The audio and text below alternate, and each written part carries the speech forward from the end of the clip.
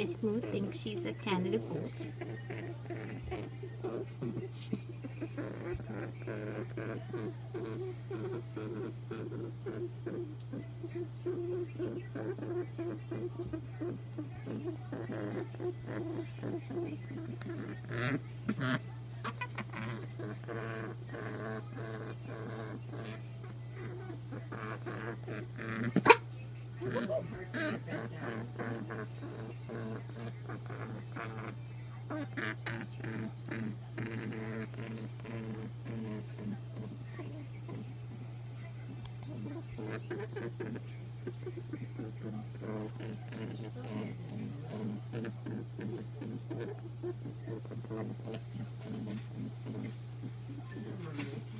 And this is Miss Moo being a Canada Goose.